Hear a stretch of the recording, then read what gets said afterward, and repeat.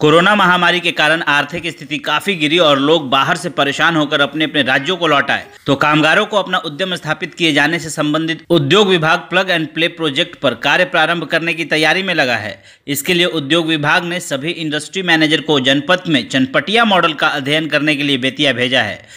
मतलब काफ़ी दिनों से लोगों का ये ख्वाहिश था कि बिहार में काम किया जाए बिहार में काम होता।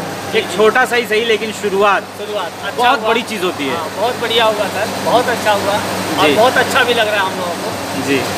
तो चेहरे पे खुशी साफ़ झलक रही है। आप देख सकते हैं कि बिहार में काम मिलने की जो खुशी है वो शायद बड़े शहरों में नहीं थी।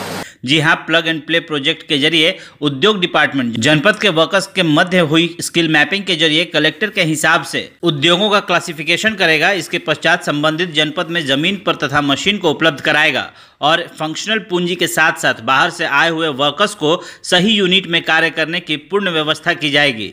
आपको बता दें कि चनपटिया में बाहर से आए हुए लोगों के लिए उद्योग की व्यवस्था शुरू की गई है, जिसमें कि साड़ी, सूट तरह तरह के परिधान बनाए जा रहे हैं।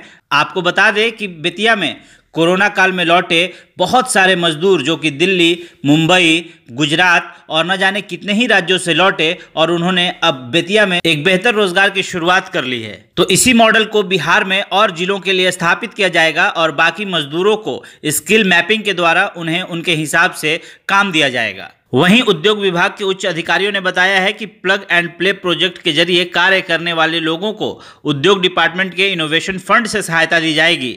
इसके अलावा केंद्र तथा राज्य सरकार के ज़रिए उद्यमिता विकास के लिए जो प्रोजेक्ट चल रहे हैं, उसके ज़रिए भी ऐसे वर्कर्स को सहायता की जाएगी, जिससे कि बिहार के लोग बिहार में और अपने ज़िले में रहकर रोज़गार पा सकें और बिहार को आगे बढ़ा सके और बिहार को एक नई आयाम देने की कोशिश की जा रही है।